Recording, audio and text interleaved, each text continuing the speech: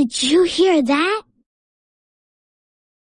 Boots, we better watch out for Swiper the fox.